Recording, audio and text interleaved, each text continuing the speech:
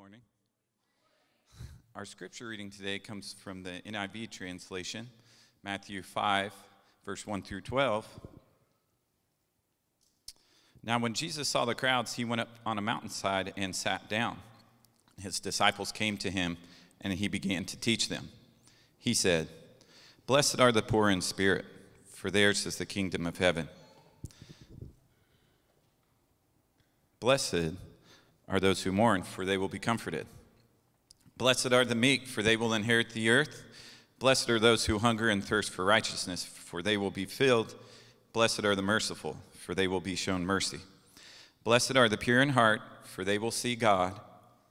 Blessed are the peacemakers, for they will be called children of God.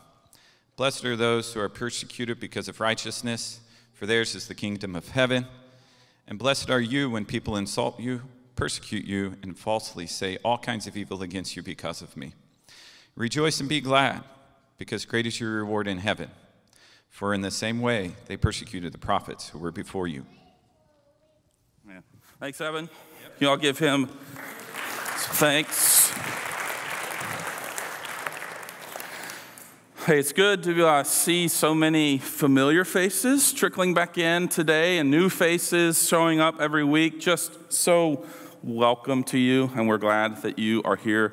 Thank you for those that are joining us online as well. And so, for the last two weeks, I've attempted to set the stage for what we're coming to today.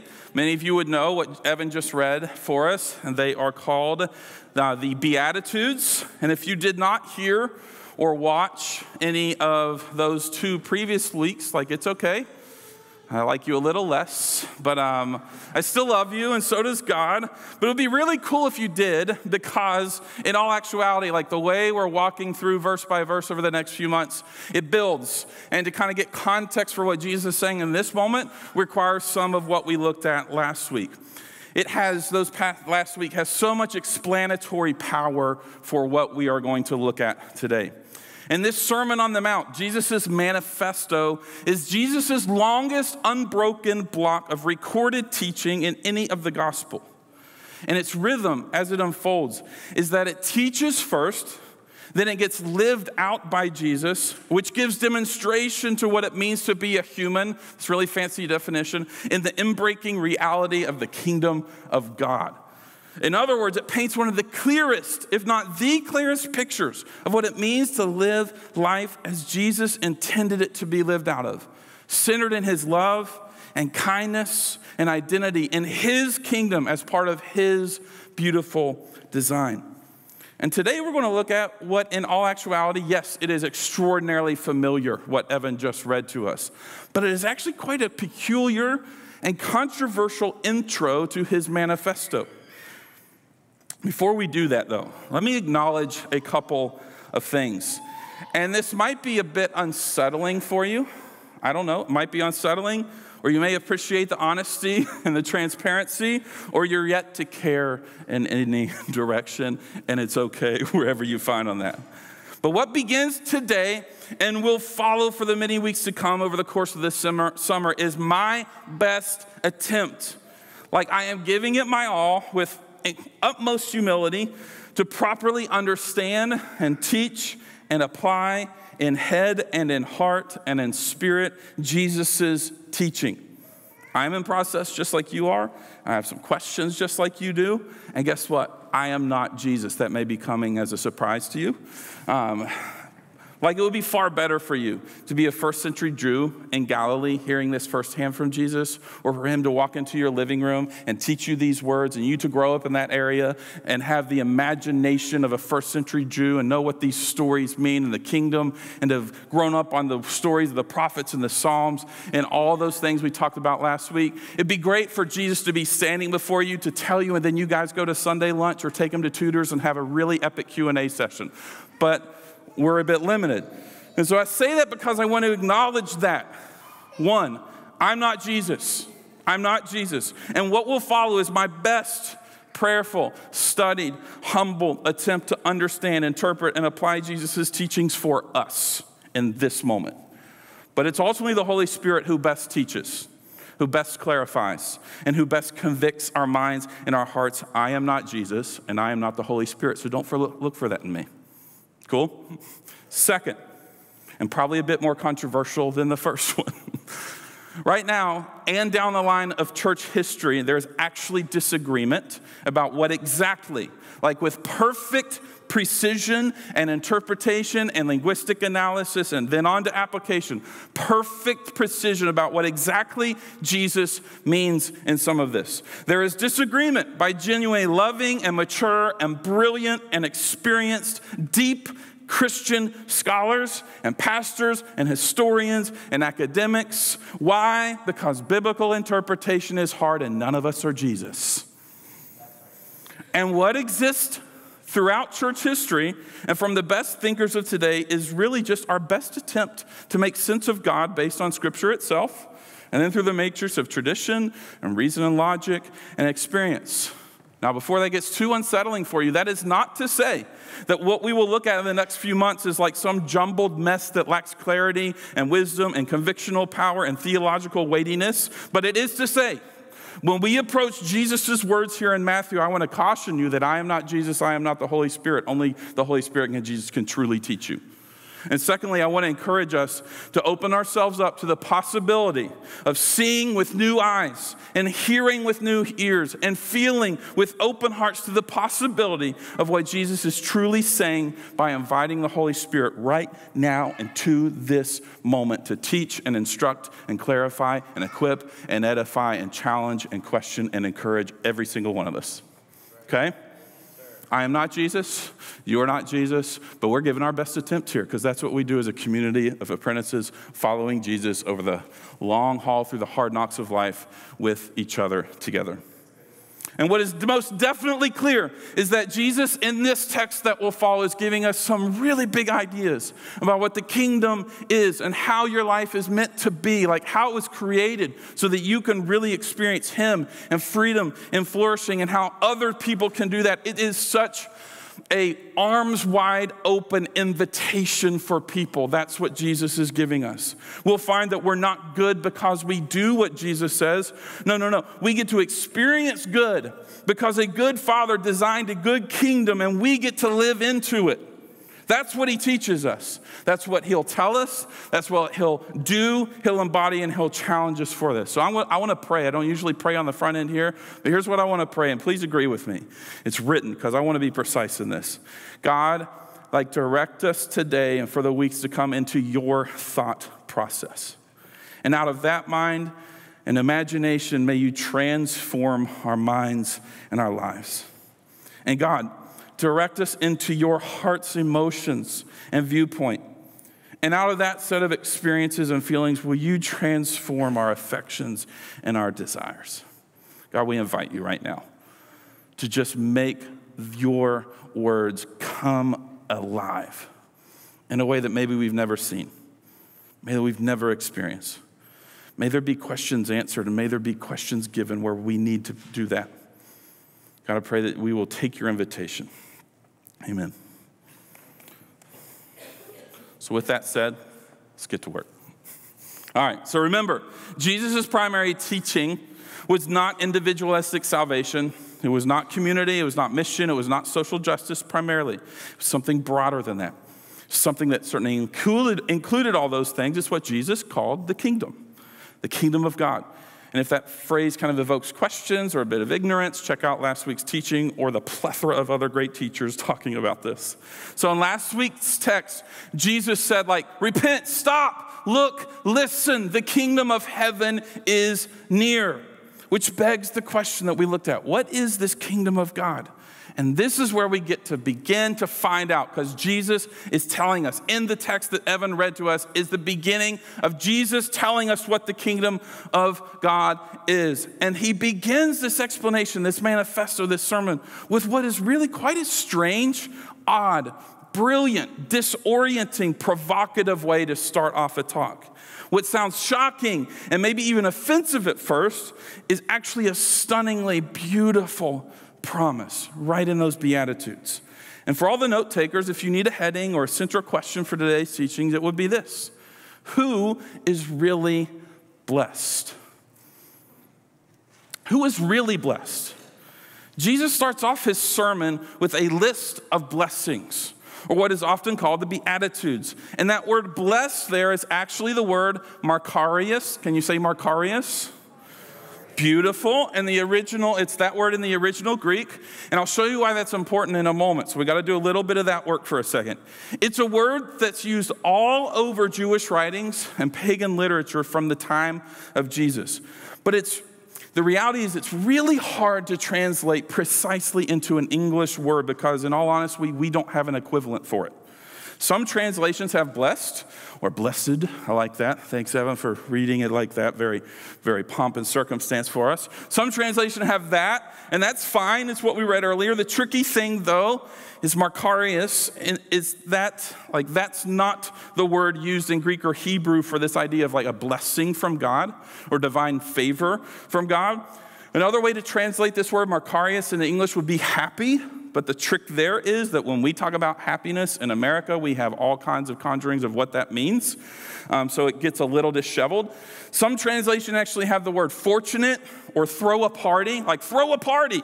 You're poor in spirit. How does that work? Really, though, as it was used then, it was more of a salutation.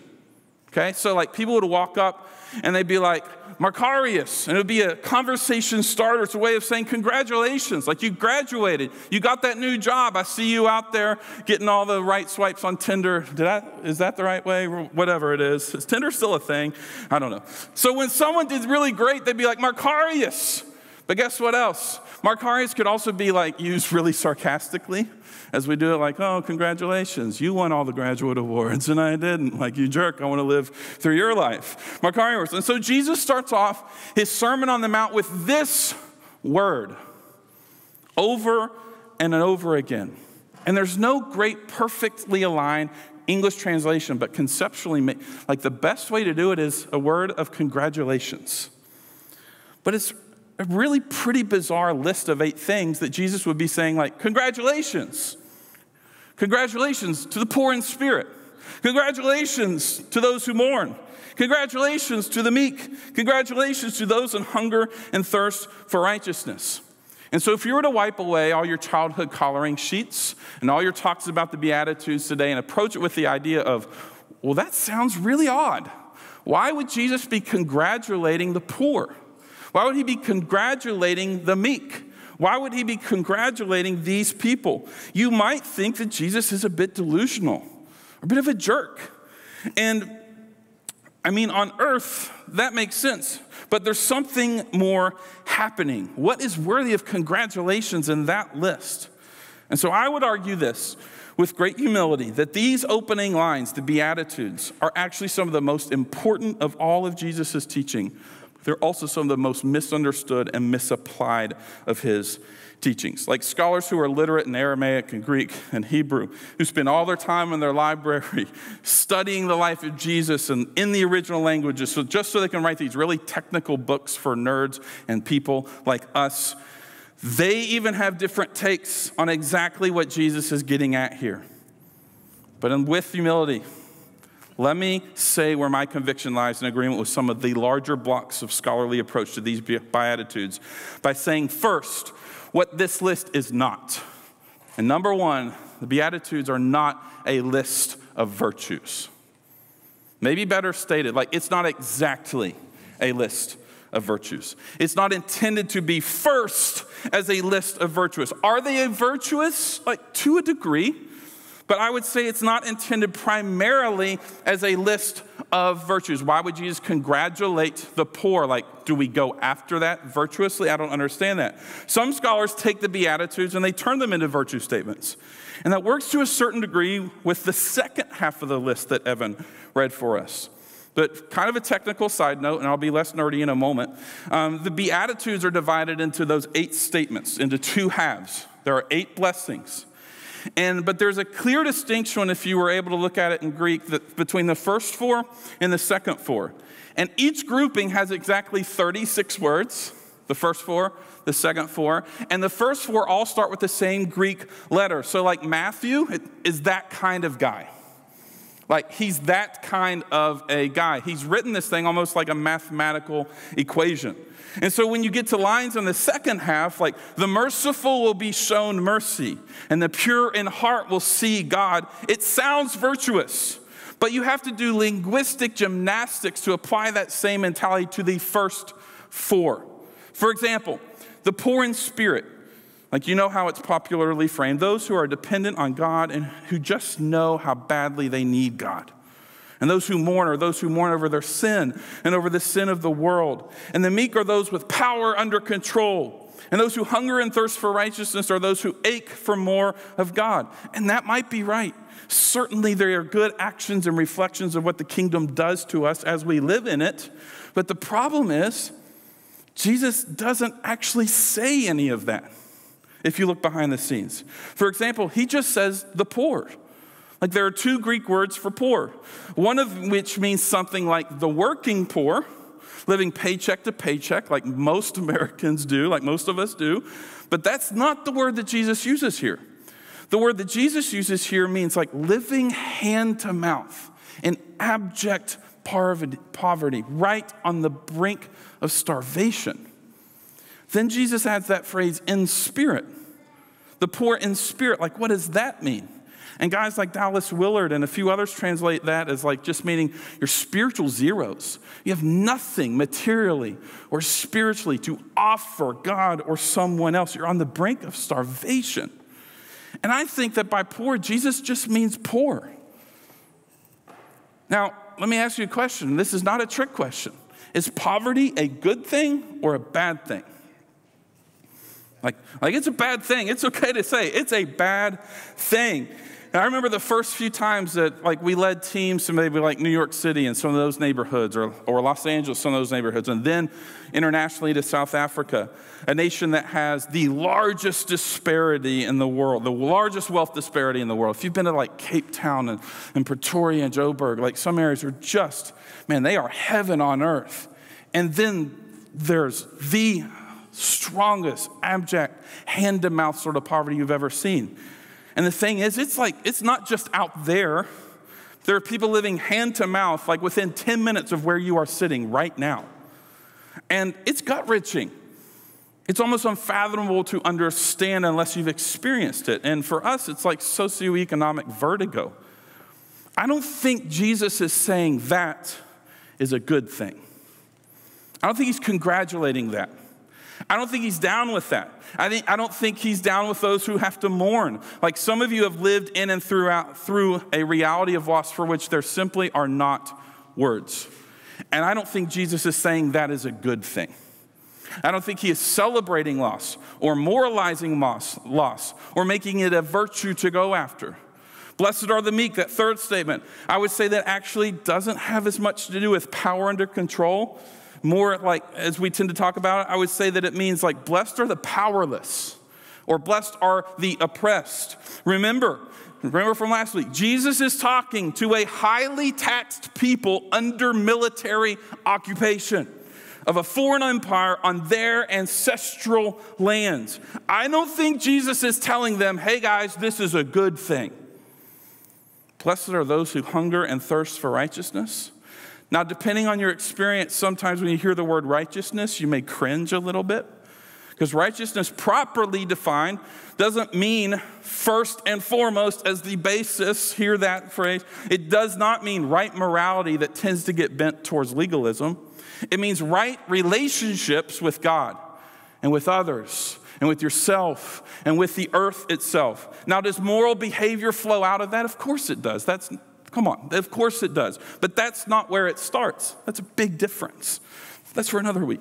But those who, so hung, those who hunger and thirst after righteousness, it's more likely talking about those that don't have a right relationship with God, with others, with themselves, or with the earth. Are you tracking? Like in our language, it's Jesus saying, Blessed are the people that have everything screwed up you're dysfunctional. You can't hold a job. You can't have a good relationship. He's not creating a list of virtuous pursuits and good behaviors to get you good standing or good image in the sight of God or people. He's saying, hey, all you that are really, really messed up, I've got something coming for you.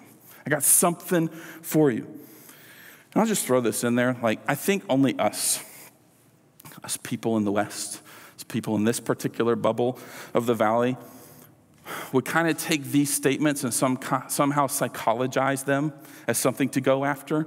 Because most of us, virtually all of us, have not lived in hand to foot abject poverty. If we had, there's nothing inside of you that's experienced that would say, that's a good thing, I'm going to virtualize that and keep going after it. Make sense? Like, if you've not experienced extraordinary loss, like only us would psychologize that and make that into a virtuous statement, like to go after loss. If you've experienced loss, that's not a good thing. Jesus would not say, go chase down misery and grief and loss. He wouldn't do that. Now, will I say, like, you have to come back next week to get the, the, you, you all just need to stick with this because there's going to be things that are unsettling, maybe offensive, questioning. If you only listen to bits and pieces of this, you're going to miss a lot. And then you're really going to say, man, that's not Jesus or the Holy Spirit up there. Um, just so stick with this. Now, are there virtues on this list? Like, yeah, maybe two in that second half. But as a general rule, this is not first or primarily intended as a list of virtues. Secondly, I would say this it's not a list of commands. If you read it as a list of virtues, naturally the next step is to read it as a list of commands, something you should then go do. I don't believe Jesus is commanding you to go be poor or sad or oppressed or dysfunctional or to screw up your life. It's not in the text, it's not a command, it's a blessing. So it's not a list of virtues per se, it's not a list of commands. And lastly, hear me out, it's not a list of timeless truths. Here's what I mean about that. Think about how the world actually works for a minute. Do the meek always inherit the earth? No, not even close. But does Jesus say they do? Yes. So we have this experience, and we have what he says. And it's not always the same times. Very rarely do the meek inherit the earth.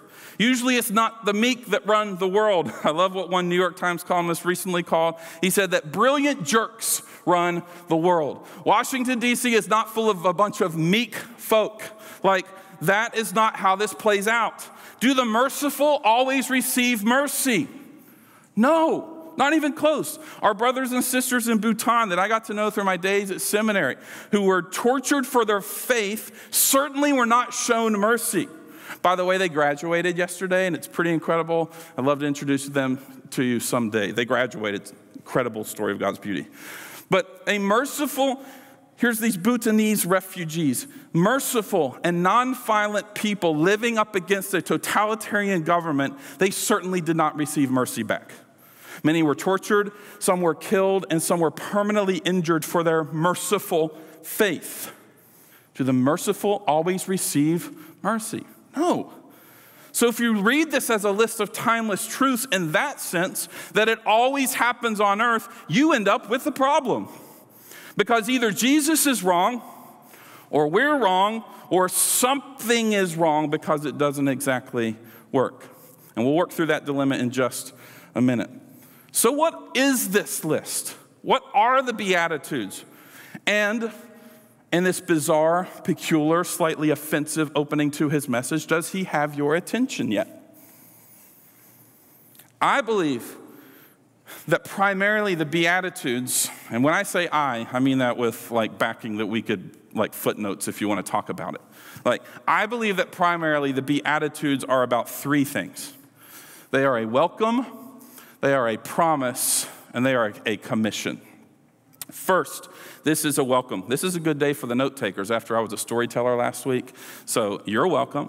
Uh, but this is a welcome. And here's what Jesus, like, okay, picture this.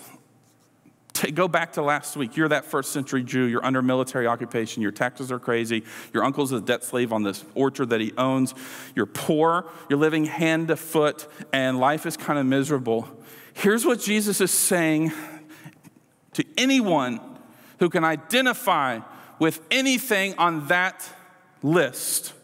He's saying, Listen, my kingdom is yours. My kingdom is yours. I mean, isn't that beautiful? You're poor. My kingdom is yours. You're sad, you're depressed, you're grieving. My kingdom is yours. You're dysfunctional, you have nothing together. My kingdom is yours. The beginning of the Sermon on the Mount is not a to do list, it is a good news list. You should be happier about that. It is a good news list. Remember, Jesus had just announced that the kingdom of heaven is near. And then he calls his disciples, and then he goes up on this hill, and the first thing out of his mouth is a list that is a list of good news. Jesus is describing who has the most to gain by the arrival of his kingdom. He is not prescribing what you must do to enter it. Say that again. He's describing who has the most to gain, not what you must do to enter it. Now, when you hear that phrase, good news, let's go back to academic for two minutes. What does that mean to you? And whatever that means to you right now, in Christian circles, we have a word for that, and it is the gospel. The gospel literally means good news. This begs the question what is the gospel? What is this good news? Is it what we just said? Or is it something different? And in American culture right now, really globally, I just say American, but like there's kind of a running debate about how to best define the gospel. And there tends to be two viewpoints with lots of in betweens. Uh, one that defines gospel simply as justification by grace through faith and not by works. And that is certainly theologically accurate when it comes to how salvation and justification works. Like, I'd stake my life on it, I'd stake the credibility of who we are together on the factuality of that statement. It's one of the few mountains that I would die on, okay? But, two, there is a growing pushback to that view by men and women across the world, not theologically when it comes to how justification works, but that it is a little bit short sighted of what all else is part of that good news. And the folks pushing back are saying, wait a minute, like, I'm not sure that's how Jesus defined the gospel, and I'm not sure that's how the early church defined the gospel exactly. Because Jesus defined the gospel, we read it last week in chapter 4, verse 17, this way that repent, stop, look, and listen, the kingdom of heaven has come near. That was kind of his one line summary of this thing. And the early church defined the gospel another way.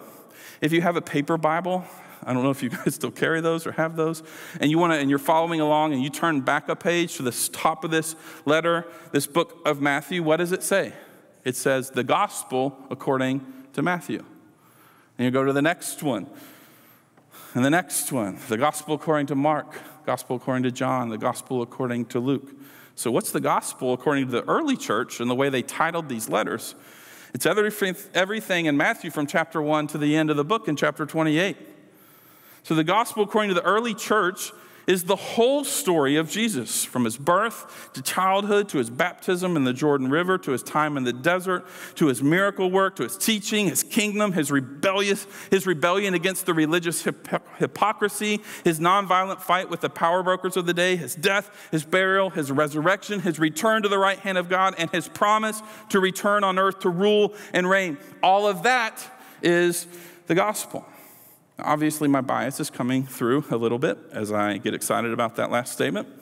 But you to, if you define the gospel as Jesus is king and the kingdom is coming, or repent, the kingdom of heaven is near, then you still get justification by grace through faith and not by works as a subplot in that much larger narrative.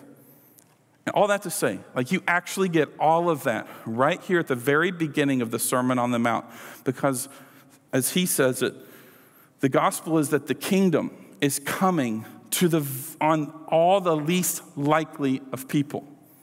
Not the rich, but the poor. Not the happy, but the sad. Not the powerful, but the weak and the powerless. Not those that have it all together and are good and moral and religious and guys who button their shirts all the way to the top, like but that was a style for a minute. I don't know if it is. Um, or girls who say no to spaghetti strap and short shorts or wear a t shirt over their one piece at youth camp. Like, not those people, but those of us who don't have it all together. Those are the ones who are blessed. Those people are in the kingdom. Those people are wrapped up in the new reality that Jesus is bringing to bear on the world, and they did not do anything but show up that's what Jesus is announcing. You see, when you start by turning this list into a list of virtues or commands.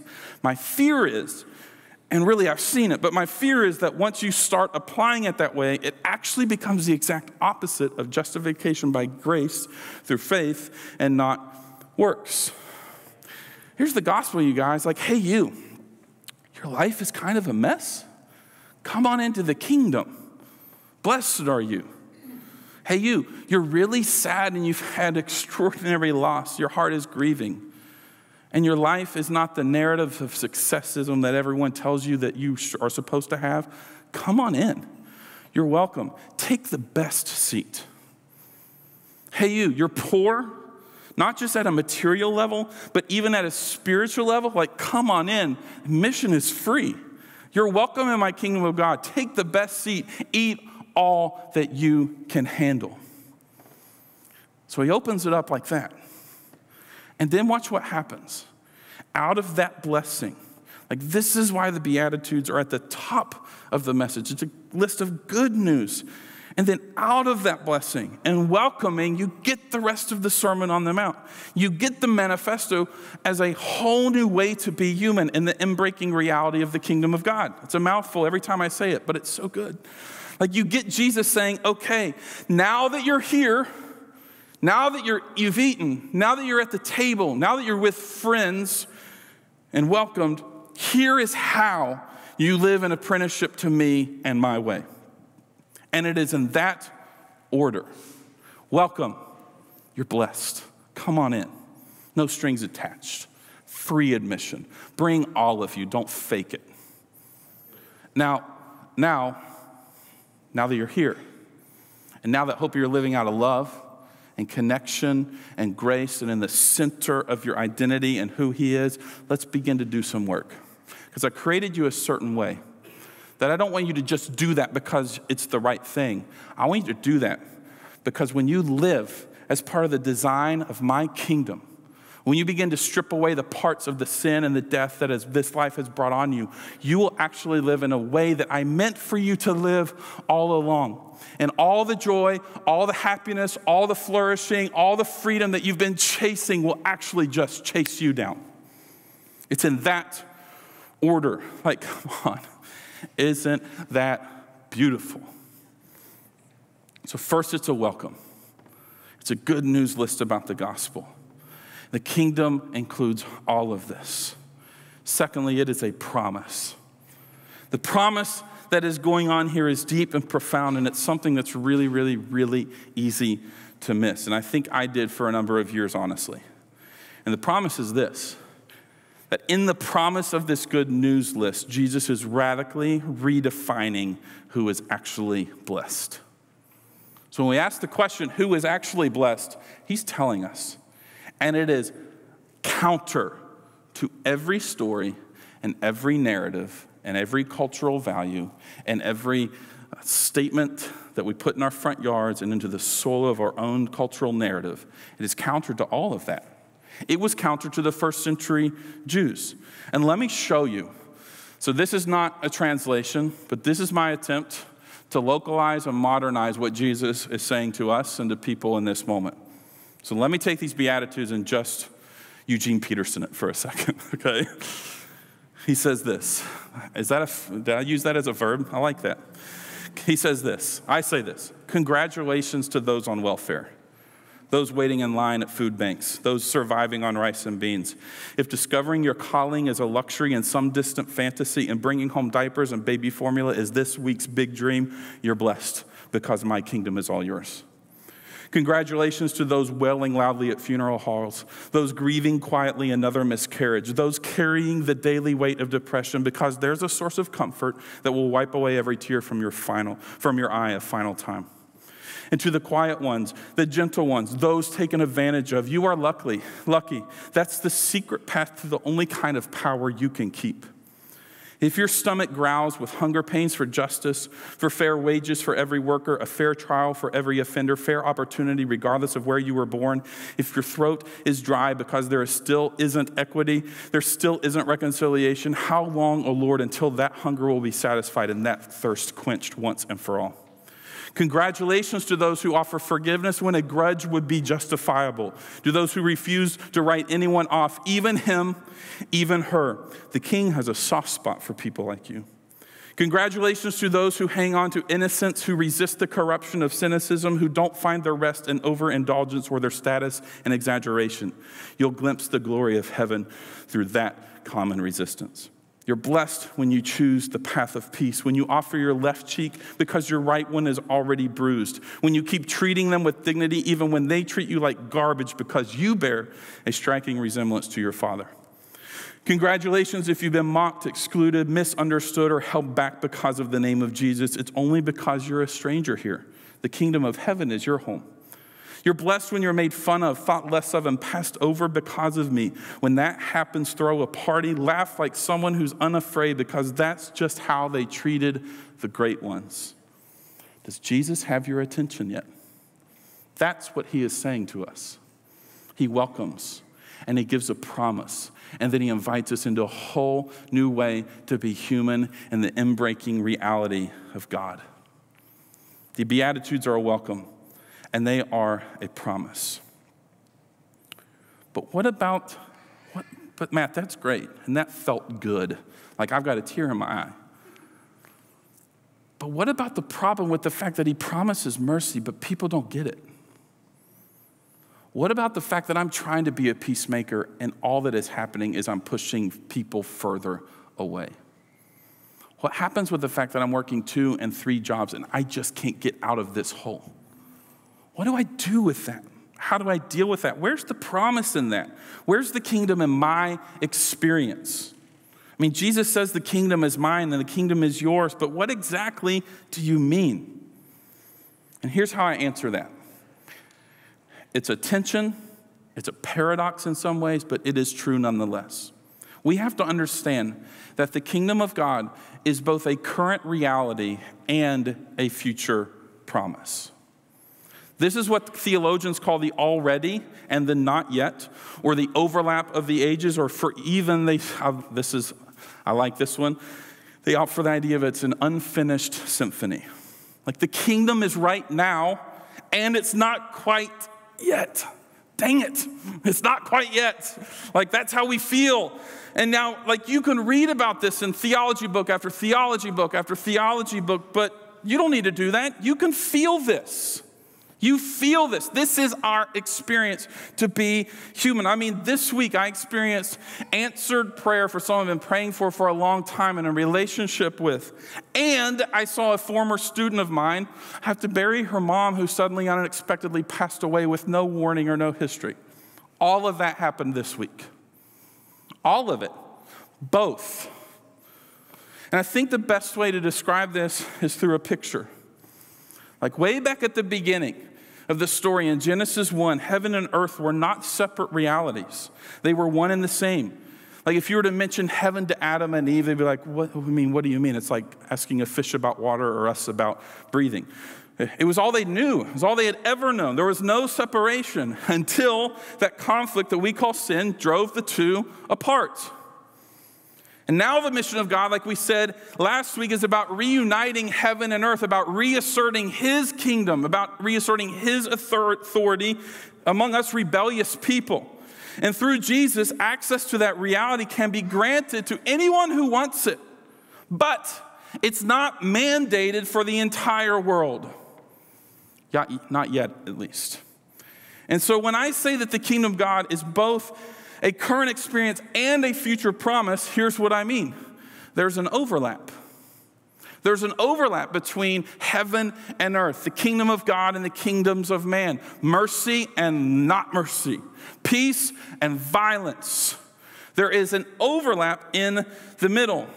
There's a way to live in this world as a preview of heaven so that your life becomes the space where heaven and earth meet. If you are an apprentice of Jesus, this is where you are. And guess what? This is the promise of who you are, but it's also the commissioning because your life is to bring heaven to earth. And you are the bridge, you are the gap, you are the overlap for the people that are around you. In the same way that you God, through Jesus, He brings you the overlap to once again feel and experience and know God. Your life now lives in the overlap for the sake of other people. And the Beatitude, Jesus names the overlap. He gives a name to the space where heaven and earth touch. It exists in the poor. It exists in the mourning. It exists in the, the powerless. It exists in the justice seeker and the merciful, the pure hearted, the peacemaker, the persecuted. It exists in you. It's Jesus saying, This is for you.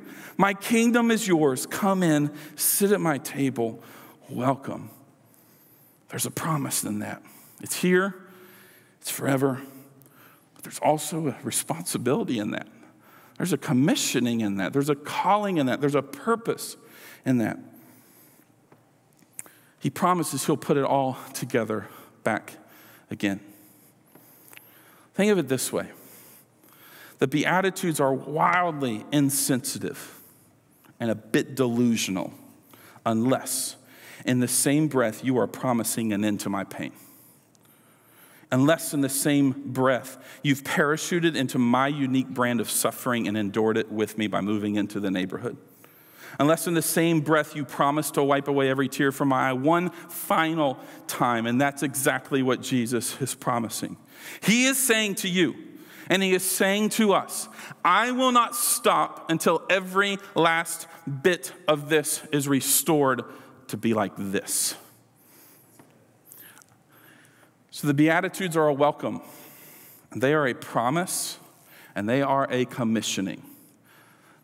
I'm going to say it this way it is a kick to the butt. You got this? Do something with it. That's what it is. And I believe that all three of these come together. That was a terrible kick. I believe that all three of these come together in a story that I want to read to you about a cellist in a war zone in the 1990s. Some of you may actually know this story.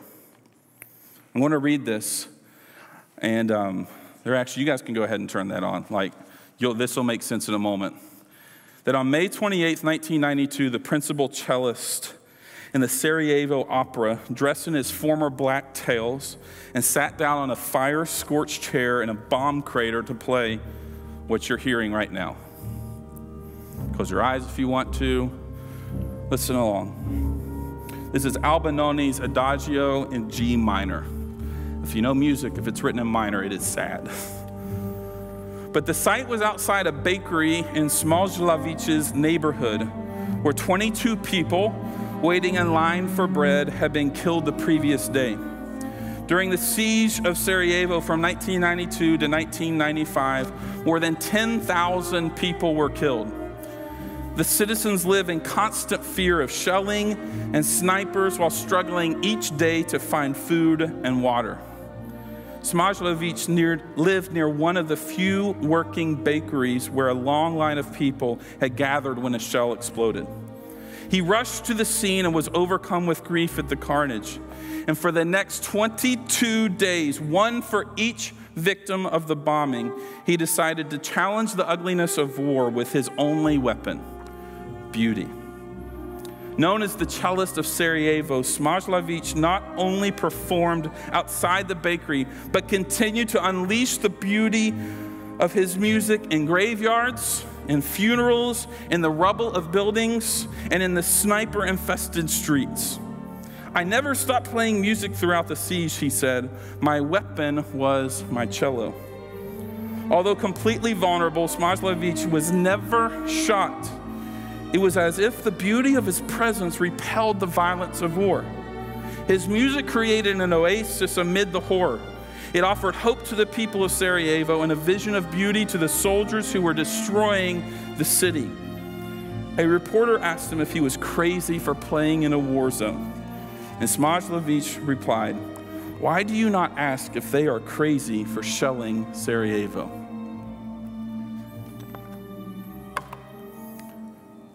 You see, there is a welcome and there is an invitation that is good news when you live in the overlap.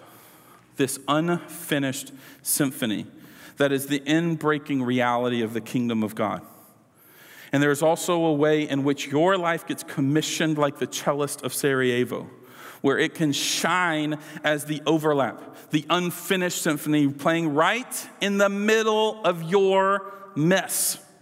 And through God's plan and His power and His love and His kindness and all the inbreaking reality of His kingdom, one day, all your poverty, all your sadness, all your dysfunction, and all your powerlessness, and all of that for everyone else will be made new for those that have trusted in God with this good news. It will be restored. This is the kingdom, and this is what the Beatitudes welcome, promise, and commission. It is Jesus saying to each of us today, You're sad? Come home. You're poor? Come home. You're a mess. Come home. You're oppressed. Come home. My kingdom is for you. Come home and let me show you how you're meant to experience what I've made for you all along. Come home. Let me pray. And you can stay seated actually for a moment. And in fact, um, I want to invite you all, if anyone wants to pray or talk, or if you have a need where you need to experience a little bit more of that overlap, like I'm going to go to the family room and meet me there. Okay? Let's pray. Father, in a war torn experience of our dysfunction, our sadness, and our loss, and our grief, and our lack, and our struggle, and even in the good, the victories, the truth, the family, the singleness, the widowing, God, all of it, in marriage and divorce, and kids that are like just killing it in life, and those that are wayward and we don't know what to do next. In the middle of all that is your inbreaking overlap.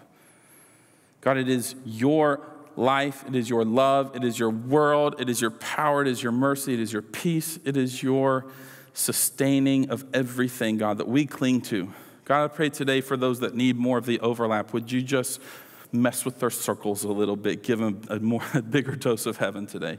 God, will you teach us and instruct us and give us community in a way that we can live in that overlap with a fuller, brighter, stronger, more meaningful experience than we ever thought was possible?